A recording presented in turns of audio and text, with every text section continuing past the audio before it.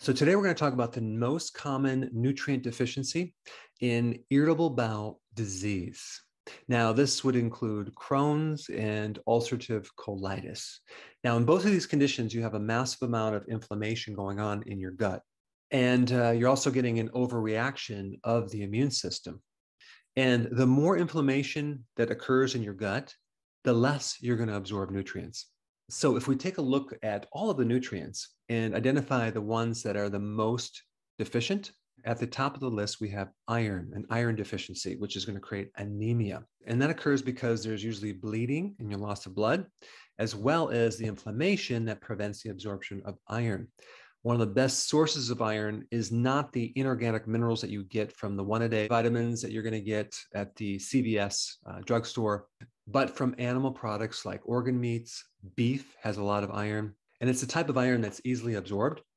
But also, spirulina is another good source of iron. So, I always recommend getting your iron from actual food. And you got to be careful because you can actually overdo with iron. Iron is one of those minerals that is very difficult to get rid of.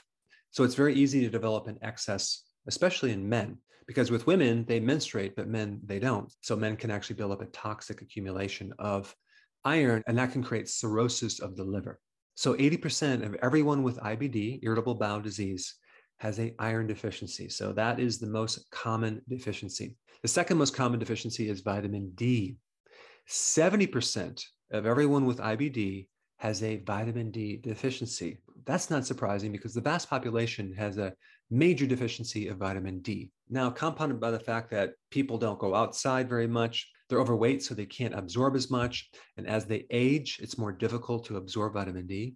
But not to mention all that inflammation in your gut is preventing the absorption of vitamin D. Vitamin D helps you absorb about 20 times more calcium than you would if you didn't have vitamin D. So you desperately need vitamin D for calcium.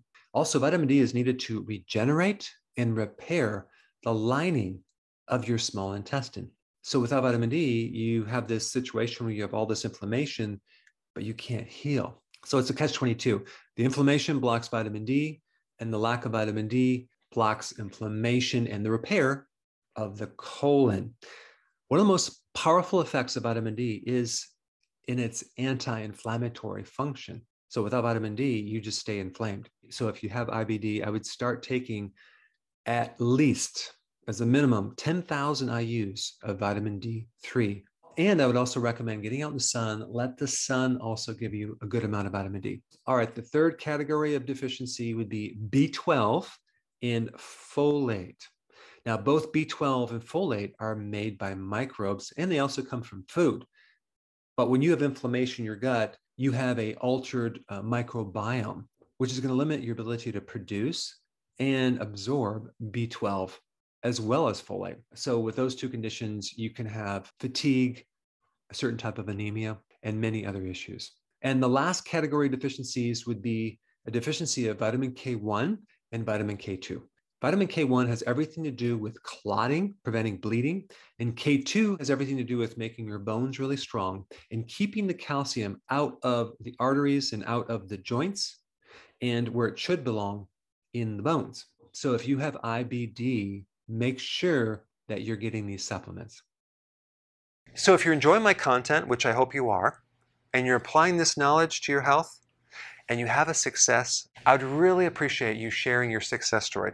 So, click the link down below to my website where you can upload your success story so you can help inspire others.